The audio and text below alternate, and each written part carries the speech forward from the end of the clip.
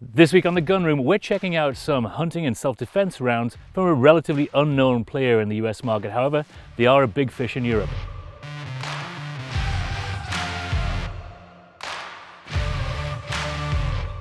Norma ammunition is comparatively unknown in the US, however that's going to change in the next few years as they move aggressively into the US market. And that's a good thing for everybody, especially consumers of ammunition like you and me. More choices, always more better. Let's take a look at a couple of rounds that they're going to bring in as some of their flagship ammunition. The first off being their TipStrike medium game round. Now this in 308 is 165 grain or thereabouts bullets moving at around about 2600 feet per second. In terms of construction, think of it along the lines of say a Hornady SST in that it has a polymer tip and it's a non-boat tail bullet which inside 300 yards for normal hunting ranges, mm, not a big deal. And the jacket up front is pretty thin, so you're going to get explosive expansion and then it thickens towards the base, so it should hold together. The other round we're going to look at is the Oryx, which is, to all intents and purposes, a basic bitch soft point.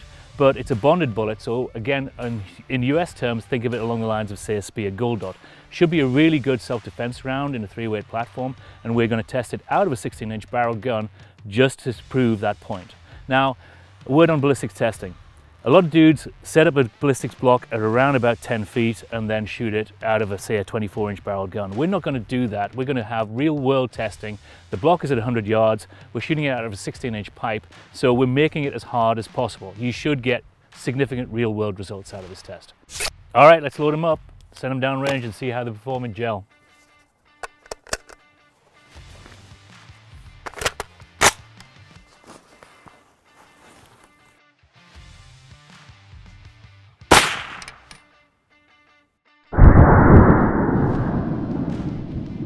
Okay, Norma Oryx at 100 yards out of a 16 inch AR-10 platform gun. Now, as you can see, the block left the table and when it did so, it shed a bunch of weight up here. I'm gonna roll the block over for you in a minute just so you can see that whole wound track because as you can see also, we picked up a lot of dirt off the deck. Overall penetration then looks like 31 inches all the way through that block. And looks like we've got about well, certainly a big chunk there, but it did shed the nose. Now here's your wound track, if I can roll this over for you. You've got about a two inch neck here before the bullet fully expanded and then you've got some fragmentation as it shed some mass uh, but continued on pretty straight line penetration all the way through, almost up through the, the second block. That's impressive performance. Next up is the TipStrike. We'll see if it does any better than this, although this is pretty good. Okay, Norma 170 grain TipStrike.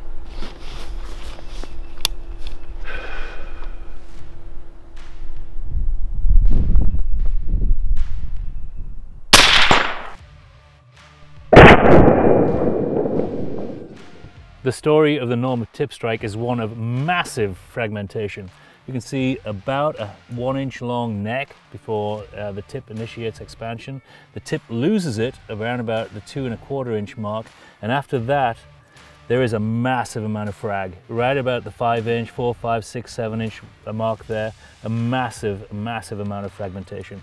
The bullet continues on all the way through into the second block at the 16 inch mark, and then it fetches up. The, the largest piece I can see right now is a tiny piece of lead core right at 23 inches. So if you're looking for a self-defense round, the TipStrike is right up there. It is going to put somebody down very, very rapidly. Or if you're looking at big game, especially deer-sized animals, I would imagine these will be a one-shot stop.